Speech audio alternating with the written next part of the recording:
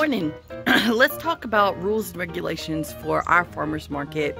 Um, just some things that we took in at, into consideration, and we don't really call them rules or regulations. We call them guidelines uh, because we're we're for for one. I don't know if we want to sound so eh, you know harsh, but at the same time, you do want to kind of set a standard.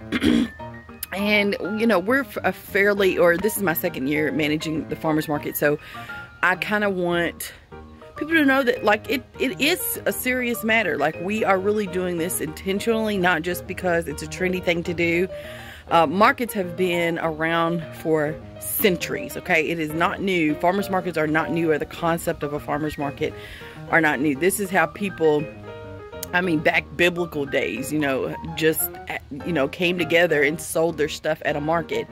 Um, there are civilizations all over the world that are still you know that that's how they make their money everybody comes together at a market day and they they plant they sow they harvest for the market right they they develop their products what, whatever it is for market day um, and so that's how everybody shops so it's not i mean in the western civilization it may be a trendy thing, but it's definitely not something new.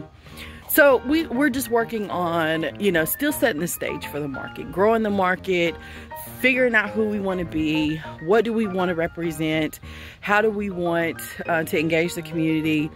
Um, and a lot of that is through community feedback and vendor feedback.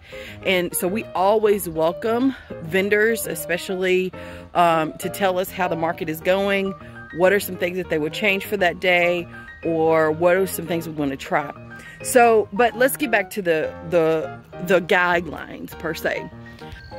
The gladiolas are coming in. Yay! I think i mentioned in a video that they were snapdragons. They're not they're gladiolas i don't know why i said that anyway so guidelines um, so we ask that all vendors bring their own tables and chairs just because that would be a huge hassle to have to supply those in their own canopy tents. They get a 10 by 10 space, um, and so they can cram as much as they want to in that space.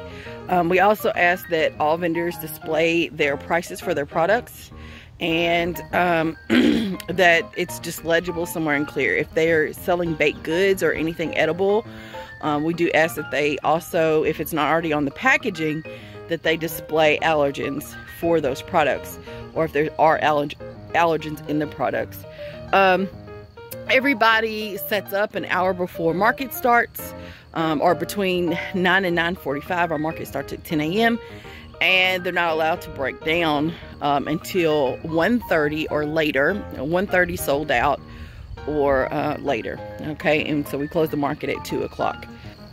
This year, um, we tried pre-registration for the market to just get some vendors to solidify their spaces for the season. Um, and so we released an application in February. Uh, most markets start to release their applications in March or April.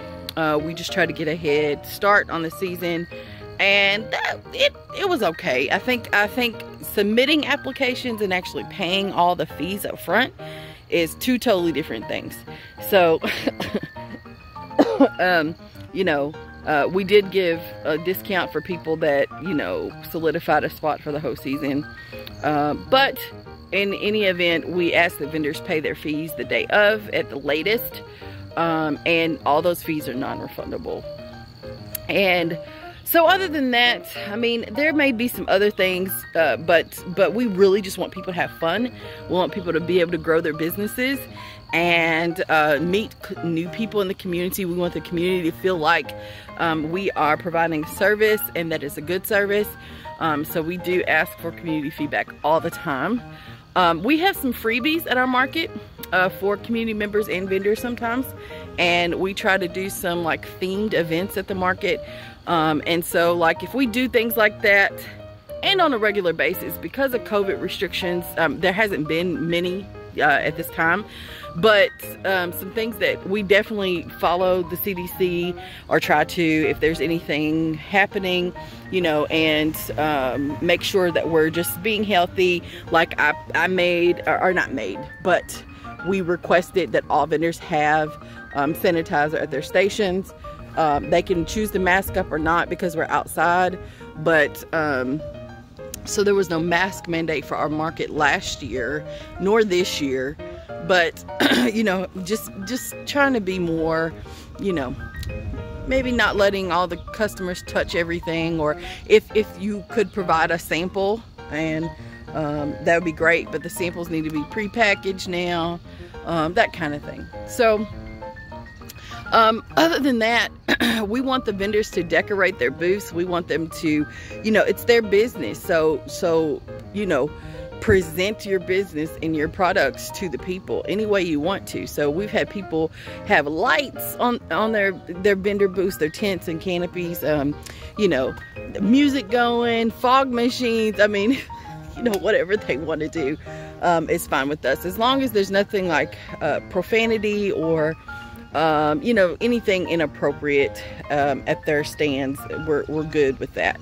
Um, this year, vendors, we've gotten a lot of requests from people that we normally don't, um, businesses especially, that we normally don't, like insurance companies, cell phone companies, and things like that. And I think it just depends on solar companies, gutter companies wanting to set up a tent or a canopy or have a space and I think it just depends on what kind of market you want uh, for the people. And so there there's a few that we've not I, I mean we've received 45 I think applications this year. And there were only two that we declined. And one of those I can't remember the other one but one of those was like a guy that wanted to sell his gun business. Like like he does classes on how to um, I think this is what it was, to shoot guns. I, you know, nah. To me, I, nah. Like, I just, I didn't want that. But, you know, solar company, there are a lot of predatory companies out here in the world and I feel like I just can't keep everything from everybody. So it is up to the customer to make those choices for themselves, right? Now, whether or not I make it available for them at the market is, is my role. And so we may do that. Um, this community takes care of their homes. I mean, we, I'm in a very peaceful, nice place um, that is still considered to be um, part of the city that doesn't get much attention, but people take care of their things. They try to live a great quality, you know, have a great quality of life and, and just live life and enjoy themselves. And I feel like they're, the homeowners do take care of their homes um, in our community. And so, you know, gutter companies or solar panels or whatever, you know, maybe, maybe that's a little, we, we, we're going to try it and see how it goes. But, you know,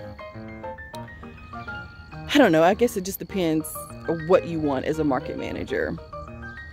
So I hope that helps um, everyone get some idea about regulations that we have for vendors.